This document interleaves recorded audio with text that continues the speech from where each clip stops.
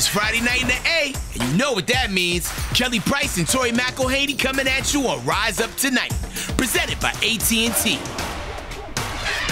Ridder Ruckus, rejoice. You got your man. We're stepping out of the bye week and maybe into a new era of Falcons football here. Unless you've been living under a rock, you know that Desmond Ridder is QB1 in Atlanta. And oh my goodness, we have so much to learn about him. And so much to talk about. Yes. This entire episode actually brought to you by the Ridder Ruckus, trademark Tori McElhaney, an official sponsor here.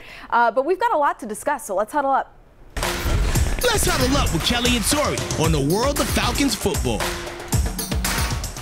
So the biggest question is, why now? Something that I don't think can be overlooked is how Arthur Smith said in his quarterback change announcement that this is what's best for where the team is at, but also where Desmond Ridder is at. He and quarterbacks coach Charles London told us this week that they've seen exponential growth in Ridder just in the last month, simultaneous with a regression the Falcons have seen offensively on the field during that time. So it seems like that's exactly why now, right? Yeah, no, think of it this way. Do you remember those graphs that we used to look at all the time in elementary school math? Well, let let me paint you a picture.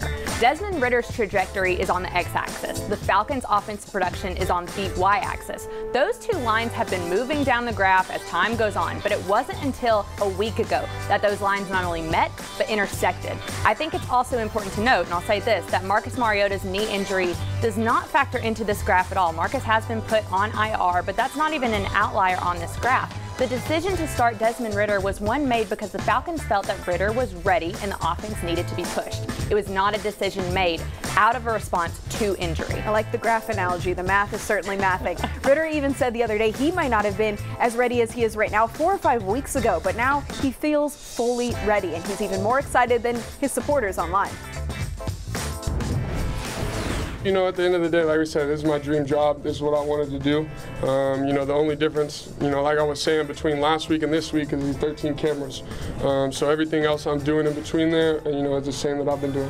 You know, that's what I was preparing to do the, the past 16 weeks, whatever it may be since camp, however long it's been, um, was just preparing like I was a starter, like I said earlier. So um, coming in this week, you know, haven't changed anything, just, um, you know, adding on, just try to do as much as I can to be prepared. You can't know you're fully prepared, but you can, you know, prepare prepared to the fullest. I'm gonna try to make a quote there. that was actually really solid quote. I enjoy media sessions with Desmond Ridder truly because he just comes off so genuine, honest, mature, confident, all the things that you want to see from him, right? Tori, maybe what was the most notable or interesting thing that he said earlier this week? So you can feel that this is a guy who isn't afraid of leading. He isn't afraid to take charge. And I actually go back to something Charles London said in our availability with him earlier in the day when he was talking about Ridder entering every huddle with conviction. He wasn't fumbling over his words to get the play call in. He did so with confidence and without missing a beat. That picture came into came to life as Ridder was talking about his comfort in this game with us uh, later in the day. You feel that ability when he speaks. Also, if he keeps giving us quotes and sound bites like that, I'll look forward to his pressers every week. Absolutely. So we've heard Smith talk a lot about how he hopes his team can get over the hump. Tall task for a rookie making his very first start, but what can the realistic expectations be for Desmond Ridder? Yes, so I know that we're talking a lot about Ridder, and yes, I know there is a very large contingency of this fan base that is excited to see him. And heck, I'll be honest, I am excited to see what the Falcons have in him. But taper expectations please. Playing New Orleans in New Orleans with playoff implications on the line is a huge moment for any quarterback, let alone one making his very first NFL start. Right. So set expectations accordingly. Know that Ridder is going to make rookie quarterback mistakes. Know that there's a chance this offense won't be productive at times. And don't get your hopes up that Desmond Ridder is the savior of Falcons football. because honestly, that's just not fair. And your reasonable expectation with Ridder on Sunday is to be patient with him and the Falcons offense as they figure out how to operate with him. Good advice, and I hope you guys are all listening to what Tori said there. Well, expectations are always high for the Falcons pregame fashion statements. We're walking in, presented by Wells Fargo. Today's show obviously has a clear theme. Desmond Ridder knew what he was doing wearing this statement shirt. He really do be manifesting. Here's the thing, doesn't it kind of look like the Atlanta, Georgia Changed My Life sweatshirt that CP wore all last year? It's similar font and everything, and let's be honest, it worked out for CP pretty well. Trae Young's been wearing it as well. It's been working out for all those guys. Next up, Rashaan Evans giving us the game day grimace, which is kind of funny, juxtaposed with his fun fit. I don't know if it's like tie-dye exactly, but I really like the matching set. That? Okay, I'm to be honest with you. This may be one of my favorite fits of the season because Ooh. it's just so different than some of the other fits that we've seen all along the season. And I also love the splashes of pink in there. Ooh. Nice touch. Yes. Next up, an all black ensemble for Darren Hall. I can get behind an all black moment, but this one kind of reminds me of like a coloring book that you have to fill in. A good point. And what I'll say about this is I know you say you saw a coloring book.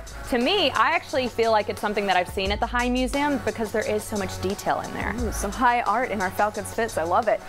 So we've talked to the guys about their favorite cheat meals in the past, but this week we asked, what's the food that you love that everyone else seems to hate in our question of the week? I don't know, cause I'm I'm pretty picky myself, so I don't really like too like crazy off the wall types of food. So I say uh, I like Brussels sprouts. A lot of people don't like Brussels sprouts, but other than that, yeah, I'm pretty regular. Here it's avocado, and I'm very very surprised. I mean, I'm a Cali boy, so I love avocado, and that's where we go. But um, yeah, they be getting on me about avocado here, and I'm kind of thrown off by. Pretty basic, but I would say green bean casserole on Thanksgiving, I'm a huge proponent of. Um, I know some people, you know, have hard stances on it, but I'm huge. Uh, I love it. So. Okay.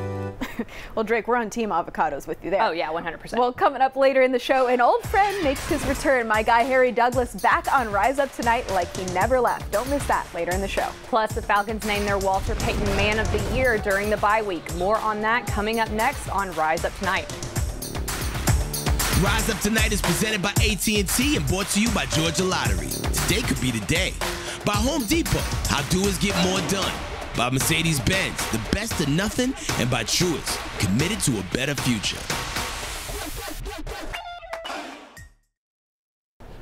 The Walter Payton NFL Man of the Year Award recognizes one player for outstanding community service activities off the field as well as excellence on it. Few embody that description more than Falcons right guard Chris Lindstrom. Over the past four years, he's been instrumental in launching a Georgia chapter of Best Buddies, and his best buddy Michael was one of a few loved ones and people he's touched who wrote him some heartfelt letters when he was surprised with the news in this emotional video that the Falcons released. I sat down with him to talk about this prestigious honor as we rise up for Atlanta, brought to you by Truist. What was it like for you to get that news? Uh, surreal, really, really surreal. Um, it's an incredible honor, and I'm just really grateful for it. And all the work that the community, uh, like our team has done in the community and our community relations staff is they don't get enough credit for all that they do and they make it so easy and I really think Mr. Blank is, I don't know if there's a better owner in the league in setting a standard of um, service in the community, and it's something I'm very appreciative that uh, and lucky to be a part of an organization like that. The Falcons put out a video of you reading all those letters from your loved ones and people that you've helped over the years. What was it like for you to hear all those words come from them? Uh, I, it, it was incredibly touching, and I didn't know it was happening. They told me that it was a holiday Christmas read, and I absolutely butchered the read, probably one of the worst things ever. They were just like, "Oh no, you're good," and then they started handing me the letters, so I was not not ready for it. Um, but it was it was really special, and to hear the voices behind the letters, and just for them to take the time um, to be able to do that was really really touching. Something I'll always remember. Congratulations to Chris. Yes. Well, a bye week certainly energizes a team, but it feels like the switch at quarterback also kind of brings a spark to this team. When I asked Desmond Ridder about it the other day, he said maybe, but the biggest spark this team really needs is a win. What does this team need to do on Sunday to make that happen? Yeah, so they need to balance up their offensive attack, I think, first and foremost. I know there are people who would disagree with me, but I'm actually not displeased with the way this defense has been playing as of late. I am wanting to see more from this offense, though. They have one of the least productive passing attacks in the league currently. Only the Browns are below them. We talk about the conviction that Desmond Ridder has about his confidence in the playbook. Well, I felt very similar conviction from Arthur Smith this week when we talked to him about the passing game needing to catch up with the run game's productivity. For the Falcons to get over this, this hump, that's what needs to happen. I think that's what we all want to see as well. Well, it's wild to think about how the Twitter keyboard warriors calling for Desmond Ridder will get their wish this week. We've got some hot takes of our own still to come. Plus, former Falcons wide receiver and former teammate of Marcus Mariota joins us to talk about this team and much more. That's coming up next. Rise Up Tonight is presented by AT&T and brought to you by Georgia Lottery. Today could be the day. By Home Depot, how doers get more done by Mercedes Benz, the best of nothing, and by Truist, committed to a better future. Welcome back to Rise Up Tonight. Let's head in the nest with Kelly, Tori, and this week's special guest, brought to you by Mercedes Benz.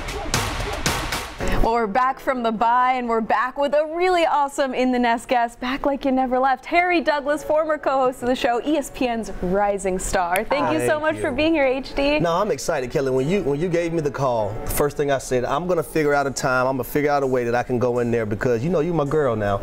We used to do this show together, and uh, you're so professional and diligent, but we had fun doing it too. So I was gonna make time to, to be here with you. Aw, don't make me cry now. Come on. I mean, I have to say, I had some pretty big shoes to fill. That's for sure. Yeah. But you've been doing a great job because Thank I've you. been Yes. watching from afar. Right, So right. both of y'all have been doing a great job, and I actually love the show. So rise up tonight. Make sure y'all all rise up and make sure you watch it every Friday night at midnight.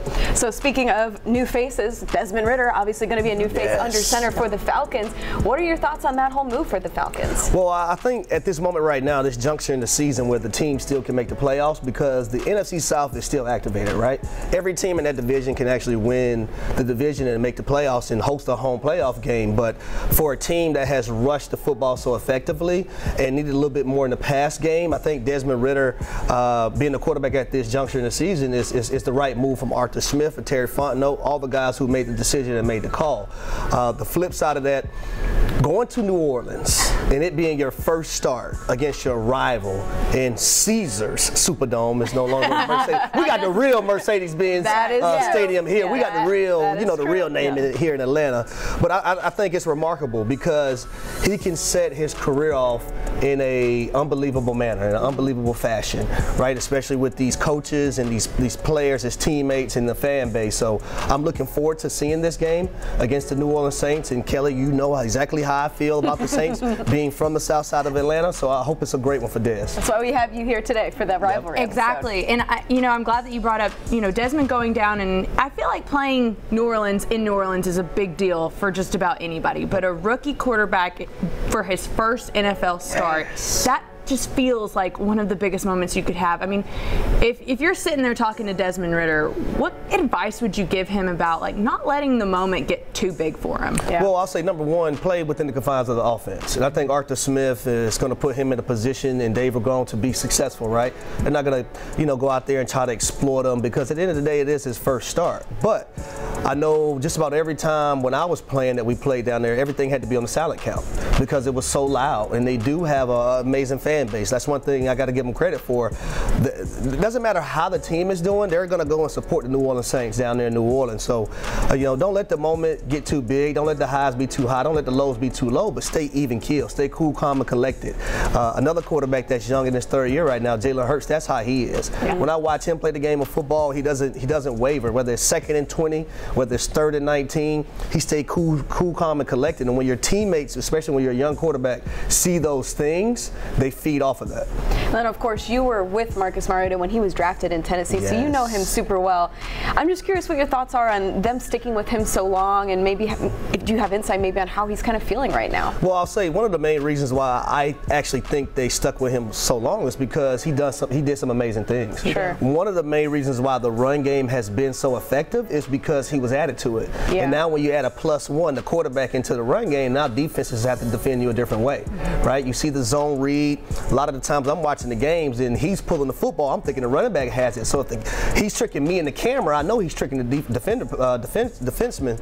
So he, he, he did a great job of that. He always had a positive attitude. Um, he's one of the most un- unbelievable guys I've ever played with. Now, you actually were working with the Falcons during training camp. Yes. And tell us a little bit about that experience and what it meant for you to be able to, to do that. Well, it was unbelievable. Number one, I, got to give credit to um, Sarah. I got to give credit to Marquice, the special teams coach, Terry Fontenot, the GM, and Arthur Smith and Dave Ragone because all those ladies and gentlemen welcomed me in with open arms, right? And normally, you, you know, you think you're going into that situation and there are going to be things that you can do, things that you can't do, meetings that you can go in, meetings that you can't go in. It was never like that here in Atlanta. Mm. They allowed me to be in, into everything, actually give my input on some things as well. And I thought it was just a great situation to put, you know, players and well, people doing the internship in. And it wasn't just me; it was everybody who did the internship. Right. So it was just a great thing, a great feeling to actually feel like you're a part of something um, throughout the spring. Obviously, it is Saints Week as well, and I know rivalry week means a lot to you. Talk a little bit about how big this game is. Um, I think it's huge. Uh, huge number one because it's the next game. Uh, number two because it's your rival, the New Orleans Saints. You know, Atlanta hates New Orleans. Atlanta, uh, New Orleans hates Atlanta. Uh, but we gonna leave it on the football field, right? Just football wise, because you know my, my my my wife's side of the family, they're from New Orleans, and you know my ah. grandma Joyce passed away. So I, am sad because normally I go back and forth with my grandma Joyce, you know, because mm-hmm. she's all New Orleans and whatnot, and I'm all Atlanta. And uh, she passed away about two or three months ago, so I'm not gonna be able to have that back and forth with Grandma mm. Joyce. But Grandma Joyce know one thing about me.